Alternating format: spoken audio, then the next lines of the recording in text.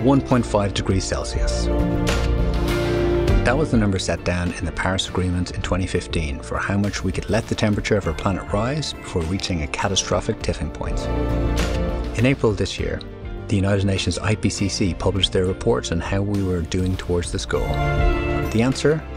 Not great. But there is a path towards sustainability. Hello, and welcome to Conversations on Climate. My name is Chris Caldwell, and this series is produced by United Renewables in collaboration with the London Business School Alumni Energy Club. We sit down with experts who are trying to solve the biggest challenge of our time before time runs out. I think to be um, efficient in the energy space, everyone needs to focus on what they do best. I have I've seen quite a bit of the, of the sector in, in this side of the world and it's been really a roller coaster. The scope of the challenge before us is well beyond the scope of any one person or indeed any one solution. It's going to take efforts across all parts of our societies and economies, from finance to food, planning to politics.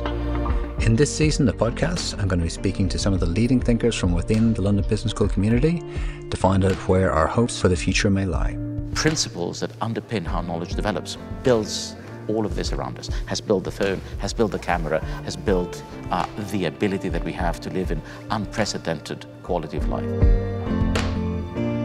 I'm helping um, reduce the carbon dioxide emission in buildings by helping reduce the energy consumption through technology.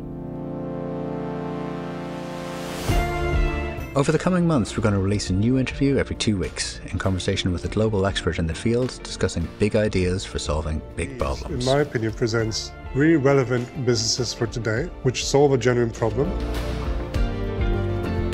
Government relations people, if there is one topic they find really challenging to make decisions on and constantly uh, have discussions about, it's the metrics. Energy reduction or carbon dioxide reduction um, that has been an exciting space for me to be in. Our first conversation will be with Professor Michael Jacobides, a leading thinker on strategies and ecosystems.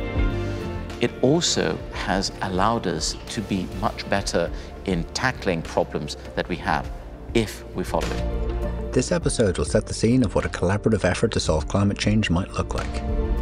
In the meantime, please subscribe on your app of choice to keep up with our new releases. I do hope that you enjoy listening to them as much as I enjoyed making them.